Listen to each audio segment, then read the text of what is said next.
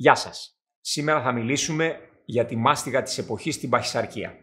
Την αντιμετώπιση της με εναλλακτικές υγιεινές λύσεις όπως τα υποκατάστατα γεύματος και θα αναλύσουμε τι πρέπει να περιέχει ένα ιδανικό υποκατάστατο γεύματος.